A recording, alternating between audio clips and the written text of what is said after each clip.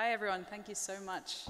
It's such a, an honor to be opening this amazing second symposium of a whole series in the General Ecology Project.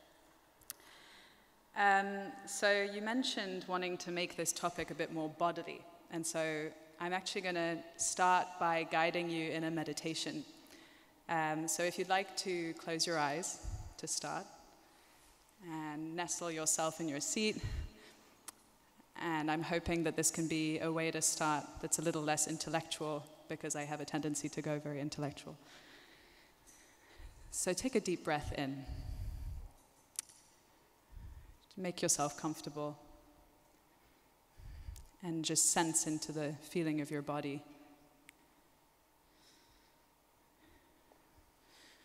Sense into the feeling of your sitting bones pressing into a cushion or into the cushion of your seat or your hands resting on your lap.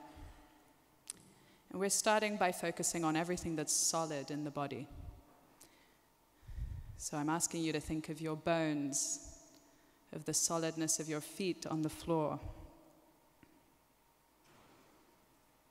We're calling everything that is solidity and earth element into mind. So that's your teeth and bones. The material of your bones, calcium carbonate, is the same material out in the world, of thinking of rocks. There have been organisms over millions of years that have contributed to those rocks.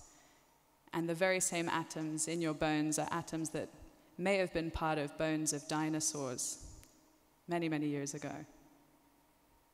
They're the same atoms as cliffs on Dover Beach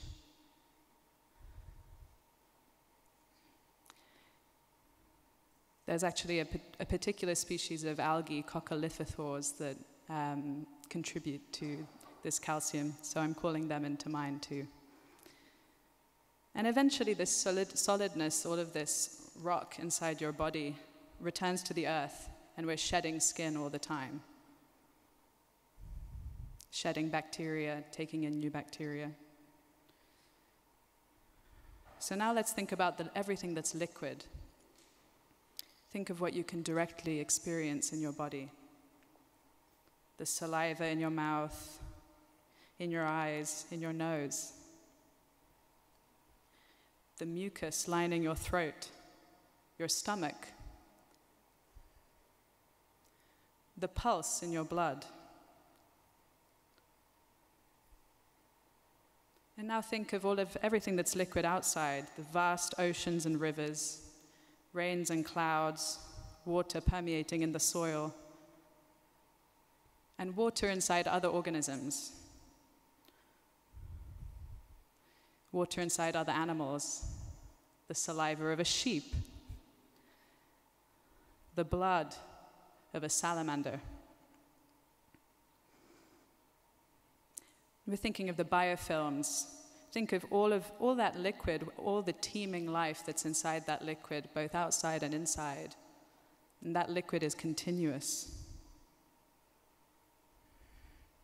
And these water molecules on your breath that you're breathing in and out, they're the very same water molecules acted on by cyanobacteria two billion years ago as they first converted water into oxygen, which allowed us to be here.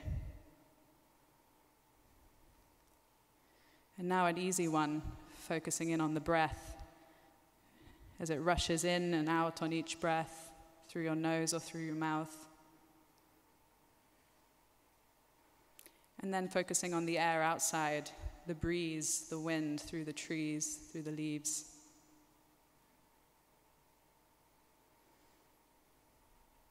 The air molecules deep inside, being carried in your blood.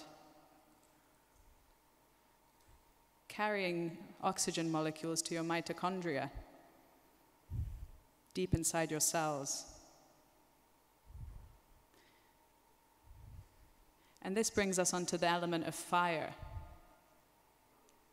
These tiny bacteria deep inside your cells are working very, very hard all the time to provide you with the energy that allows you to walk, to think. Every single electrical impulse that allows you to pick up a pencil, a cup. Millions of years ago, these mitochondria were converted from a free living bacteria into the tiny powerhouse inside every single one of your cells today. They were engulfed, they were enslaved, they were kept captive. And now they're responsible for stripping all of your food molecules that you take inside your body, stripping them of electrons, of energy, allowing you to live. If you focus in on the warmth of your breath as it comes out after you've breathed in, when you breathe out, that heat, you can thank the millions of mitochondria for keeping you warm.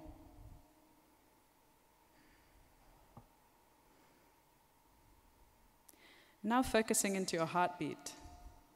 This heartbeat has been a continuous heartbeat down the whole evolutionary chain of living beings that led you to be here today.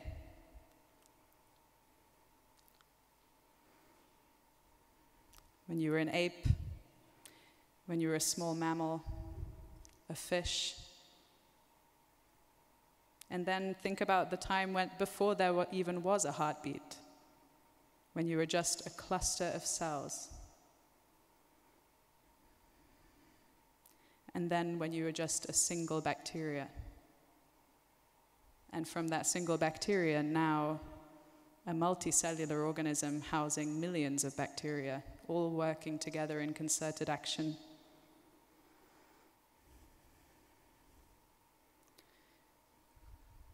We're really here thanks to cooperation. We're an unbroken chain of being, hundreds of thousands of generations, an unbroken lineage of life. And it's thanks to all the times that that chain of beings cooperated that allows us to be here. When we huddled as small mammals, when we came together as intricate and complex symbioses, engulfing bacteria, becoming chimeric, multicellular mosaics of beings.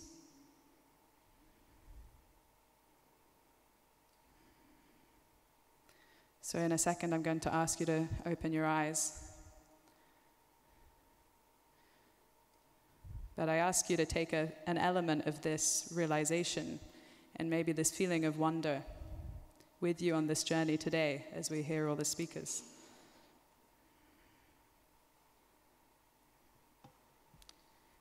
So, if you'd like to take a breath in, take a bit of a stretch, come back to this multicellular whole being sitting here. I will jump into telling you a little bit about uh, some of the symbioses that um, take up my time thinking about. So I love this title, We Were Never One, because it was quite meta when I first saw it. Because when I thought, when I was thinking about it, you know, there are many dimensions to the fact that we're not one. You know, we were never one organism, but also we were ne- we've never been one being. So within the paradigm of biology, we're really, I, I really feel we're having a very big shift in paradigms as we try and look at this definition of the organism or of the, the individual, uh, biological individual. So I just thought I'd start off. Lynn Margulis is a very big inspiration to me, and, a, and, I'm, and, I'm, a huge fan of her work, and I'm very excited to be watching her film on the 11th of December here with the Serpentine. Um, and this is in one of her textbooks. I can't, I'm, I'm going to try and, I need to turn this way to look at the screen and then make sure that I get the microphone. I was raised in the belief that these mitochondria were obscure little engines inside my cells, owned and operated by me, or my cellular delegates, private submicroscopic bits of my intelligent flesh. Now it appears some of them, and the most important ones, are total strangers.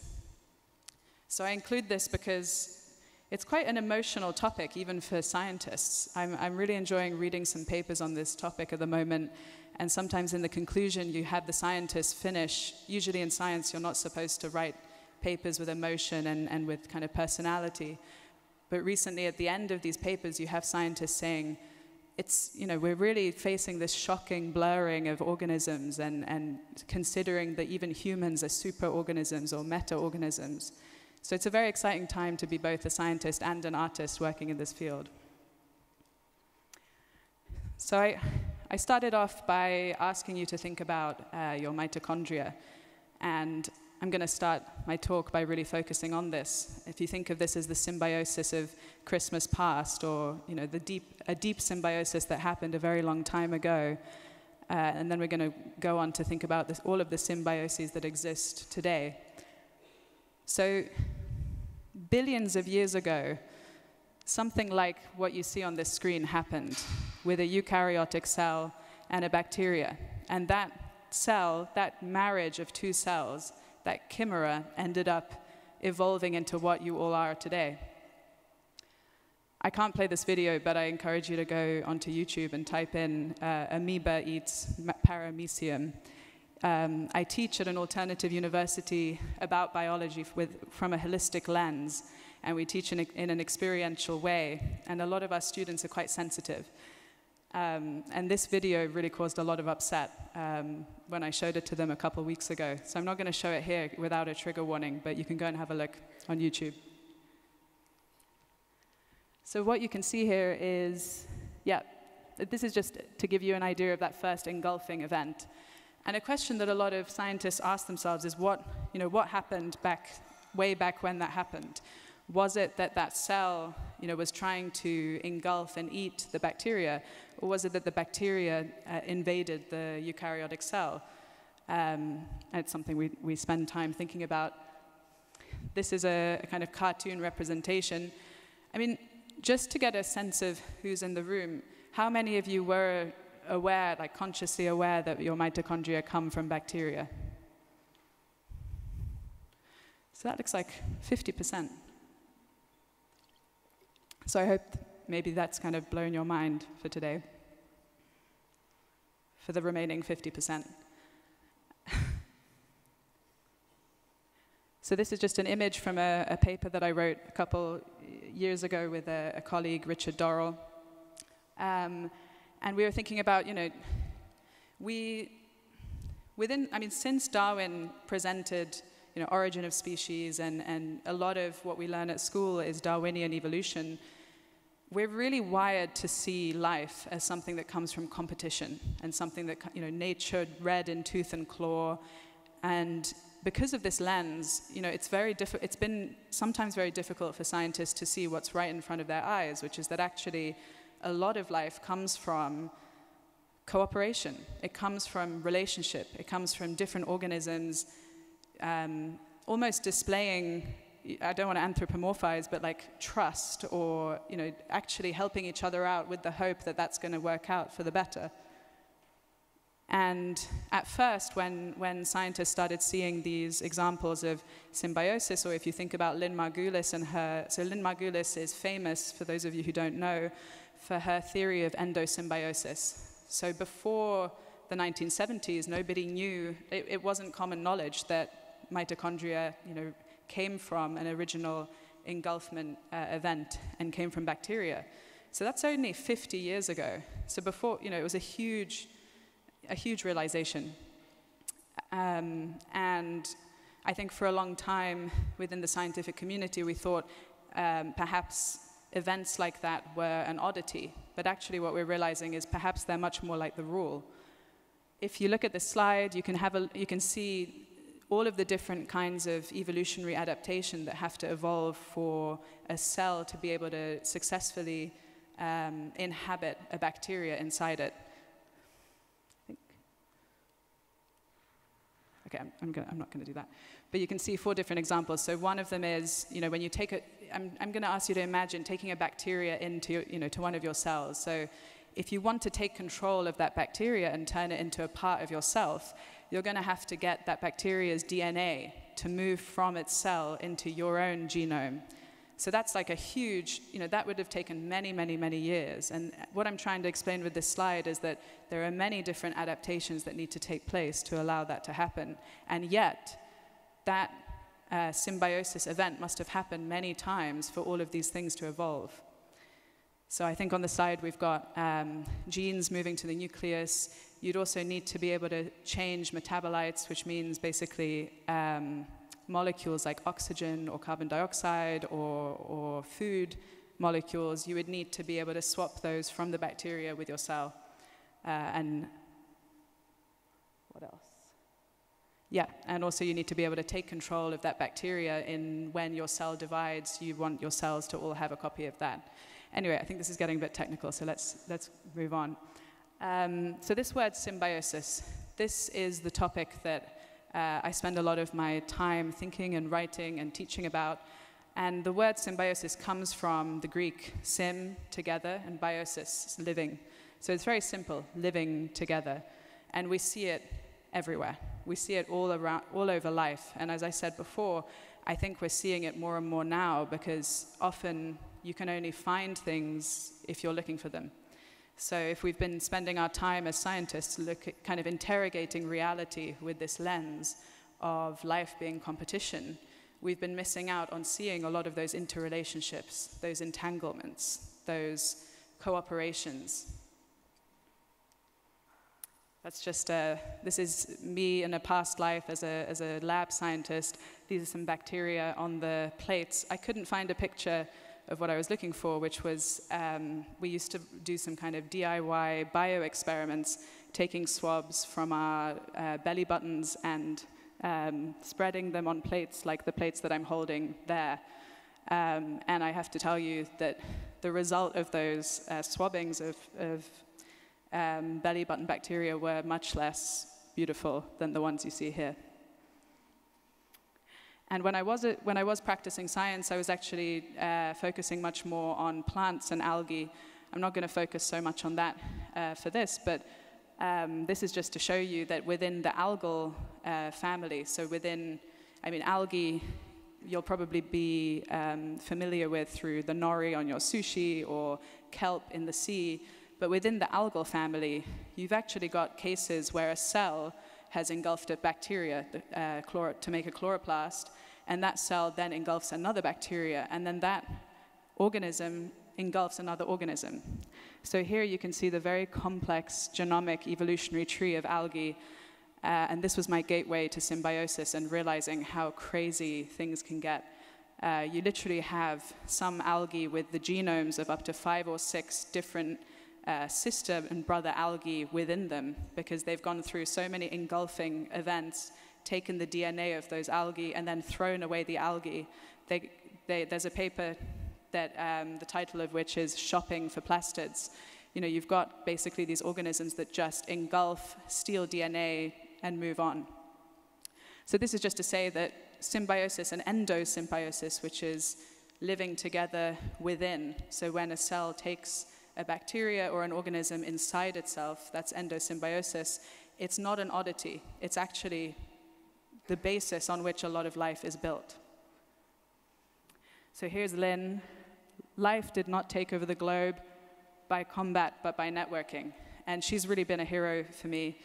Um, her real contribution to the scientific community was this idea of symbiogenesis. So symbiosis is living together, but symbiogenesis is symbiosis being an actual engine for evolution and life and the creation of new organisms, which uh, Lynn herself believed to be the biggest drive of evolutionary, um, yeah, evolution. And so I mentioned I teach now in this alternative university. So Lynn Margulis herself used to teach at Schumacher College. Uh, Schumacher is in the south of England, and this here on the left is the classroom that Lynn used to teach in. Uh, and I, I, feel honored enough to be teaching. This is just a, a picture after the class on symbiosis. So you can see some of the complex diagrams on the, on the board. Um, and so this, this university does something which is quite um, rebellious, or I would say, which is that they teach science, the, well, we teach science from a lens of holism. So from a lens of you know, relationship, of uh, cooperation. It's a very different way of looking at science, as well as other things like Gaia theory and um, Goethean science. So if you're interested in this topic, I urge you to have a look at Schumacher. Um, so this here is a, a, paper by Scott Gilbert, who, you know, it, the title is We've Never Been Individuals, and I just wanted to presence him here as well, because I believe that he's been a very big inspiration, both to me and to, to others too.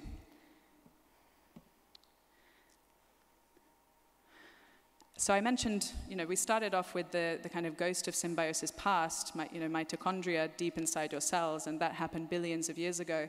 But actually, you know, even today, as we'll probably hear later on, there's a ton of symbioses in, in you know, going on in your body and actually making you a, an individual or a non-individual uh, today. This is an artist, let me just find the name, Rebecca D. Harris, uh, and her work is called Symbiosis. You can go and see it at the Eden Project um, in, in their recent Human Biome exhibition. And I just really love this image because it, she's woven, she's embroidered um, all of the different species of bacteria that you hold inside your body. And then you can see like the, a fetus inside, which, which actually uh, fetuses develop without um, the microbiome, and then they, they gain that through vaginal birth. And so, you know, we're learning a lot about now the impact of, you know, having a cesarean instead of giving, you know, having a natural birth and, and things that we would have never thought of before if we didn't know how, how much life is built on, on the cooperation of multiple organisms together. Yeah, so human beings are not really individuals, they're communities of organisms. This is Margaret McFall Ngai, another hero of this field. Um, in the background, you can see um, the bob-tailed squid, which was actually her, her focus as a scientist. She showed that um, the way this squid allows itself to be fluorescent is through the symbiosis of bacteria called Vibrio fischeri. Uh, and she really paved the way for all of the research you're seeing now on the microbiome by showing that this organism, this, this bobtailed squid, couldn't, can't develop without the presence of bacteria when it's an embryo. And so often in this field, you know, if you, if you have, you know, you look at the squid and you think of it as an organism in its own right, but then if you try and hatch, you know, squid, I think they come from eggs, I'm not sure, I'm, a, I'm an algae scientist, but if you try and hatch algae from uh, squid from their eggs and you take away the bacteria from that environment and the squid can't develop, like it cannot, it doesn't survive, then what does that imply for, you know, wh whether the squid is even a squid in its own right without bacteria if it depends so tightly on the presence of bacteria to survive. Um, so I know we're, we're, running out of time, so I'm going to round off by telling you just a little, about, little bit about the microbiome and, and some of the recent research that's been coming out, just showing, you know, not just how, you know, uh, Filipa mentioned that there, you know, you've got millions of bacterial cells in your body, your human cells are actually outnumbered nine to one compared to the bacterial cells in your body. So I like to think that I'm Phoebe, you know, I'm a human, but actually I'm 90% bacteria. Um, and I wonder how, you know, how we change the way we interact with each other and with life and with food and with soil if we really thought of ourselves as correctly these colonies of multiple bacteria. So this here is just a, an image from a paper where um, scientists noticed that uh, mice, if you, they, there are a lot of experiments going on where uh, they will basically grow a, a, mouse or bring up a mouse in a laboratory where they remove the microbiome and then they, they look at all of the behaviors that happen there. Uh, and what they noticed is if they remove a certain species from the microbiome of mice, those mice start exhibiting signs of autism and other, with other species, depression, and with other species, anxiety. And then when you reintroduce those bacteria, they see all of those symptoms disappear. I mean, even just that on its own is completely mind blowing to think that we think that, um, you know, we think of some of these um, mental health issues or diseases as things that are genetic or things that are environmental, and then to, to see this with mice is, is totally mind-boggling and, and really calls into question, you know, who really has the, the reins here on, on your mood, on your appetite, on your, you know, on, on your behavior. So this is just a, a nice sciencey diagram. Um, there is actually a, uh, a nerve called the vagus nerve that, that travels, connects directly from your brain into your upper uh, digestive tract. It's the vagus nerve. Um, and through this nerve, bacteria are actually able to directly uh, influence, like directly communicate with your central nervous system. They do this by um, they, some of the bacteria in your microbiome break down food molecules into short chain fatty acids, which actually just on their own have an impact on mood, they have an impact on appetite, on sleep, on stress. On top of that, bacteria are involved in the synthesis of serotonin, in the synthesis of GABA, which are, these two are both um, neurotransmitters uh, that, you can, that, that are found in your brain that you synthesize yourself. So, I mean, I don't, I don't mean to scare you or to make this sinister, but um, I think it was in one of the papers I was reading recently, one of the scientists was talking about uh, the way bacteria modulate your behavior is a way of bacteria being in symbiosis with other organisms because it's like they can be, you know, if they can modulate your behavior, they can be basically communicating and influencing the outside world too. So this is just a, a clip I found from BBC News.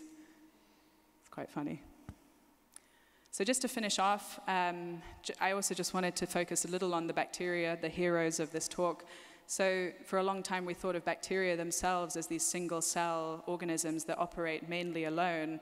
Uh, and the, the, thing that I'm really interested in now and interested in doing uh, research in in the future is looking at uh, actually how bacteria themselves behave in large-scale symbioses. And really, we can't even look at bacteria anymore and define a bacteria as a single species, as a single cell. You need to look at the whole community of bacteria. So on this image, you can see uh, cells of a bacteria called E. coli and, a, and another one called uh, Acino A. bailey. Uh, and the, what's really interesting is under the electron microscope, what was seen was that these bacteria are forming nanowires and nanotubules together to share resources.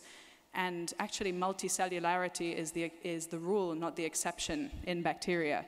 So what you have is, um, you know, for a long time we've thought of bacteria as single cells, but actually the way they behave organically and naturally in nature is that they are never found alone as single cells.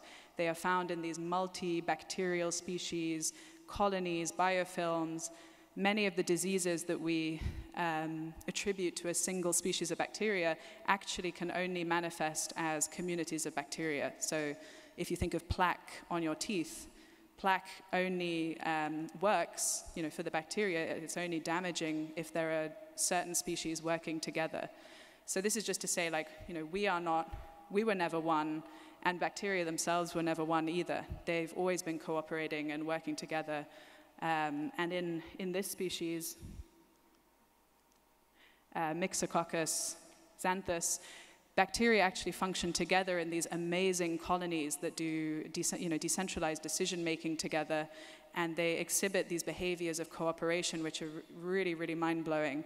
So, um, here in this image, you can see a colony of this, this species of bacteria rippling as they go hunting for food, and together they'll segregate into different um,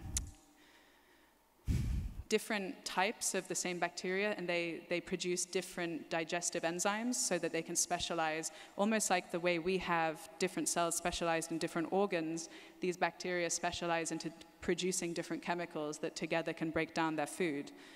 Um, and I think in these colonies, you have a segregation, like they segregate into doing different things. So one out of 10% of the population will go into a kind of spherical fruiting body, which makes sure that they're safe in uh, dry conditions or high temperatures.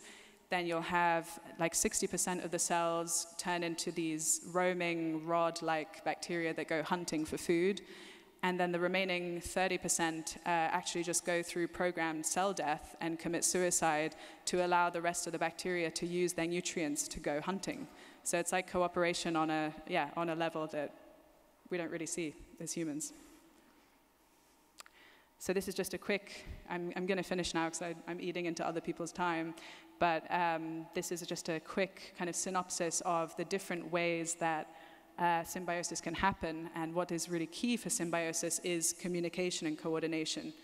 And I've kind of taken the liberty to be a bit um, imaginative or perhaps artistic in, in kind of continuing this list. Because if you think of symbiosis as as living together in communication, then you can start thinking about you know, the internet or light or language as other kind of uh, modulators of symbiosis or info chemicals. So, at what scale do you really define an organism? I think I'll just finish with that. Thank you so much.